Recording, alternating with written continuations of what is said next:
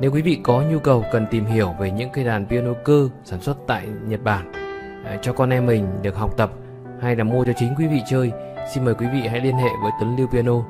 À, chúng tôi làm kho đàn, chúng tôi nhập khẩu trực tiếp từ Nhật Bản về. Chúng tôi vừa bán buôn, bán lẻ.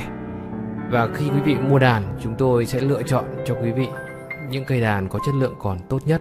Chúng tôi tự tin với điều đó bởi vì chúng tôi là những người học nhiều năm về đàn piano Chúng tôi là những thợ kỹ thuật bậc cao, là những chuyên gia về đàn piano cơ đã được các chuyên gia Nhật đào tạo. À, chúng tôi không cần phải một bên thứ ba hay và dựa vào một cái tờ giấy nào để nói về chất lượng của từng cây đàn mà khi cây đàn về Việt Nam chính chúng tôi sẽ là những người thẩm định là những người test trực tiếp những cây đàn để chọn ra những cây đàn có chất lượng tốt nhất bán lẻ cho quý vị. Chính vì thế quý vị hoàn toàn có thể yên tâm tin tưởng ở Tuấn Lưu Piano.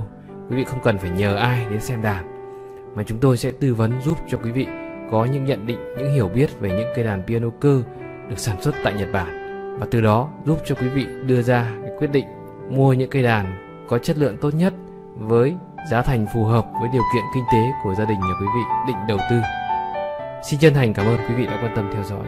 Xin kính chào và hẹn gặp lại quý vị trong các video tiếp theo của Tuấn Lưu Piano.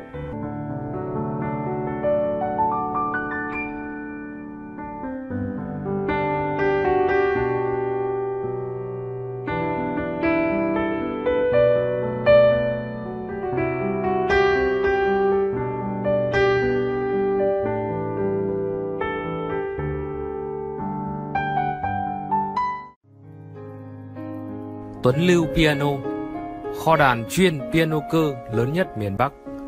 Không cam kết bán đàn piano cơ giá rẻ nhất, Nhưng chúng tôi cam kết bán đàn piano cơ đã qua sử dụng từ Nhật Bản, có chất lượng tốt nhất.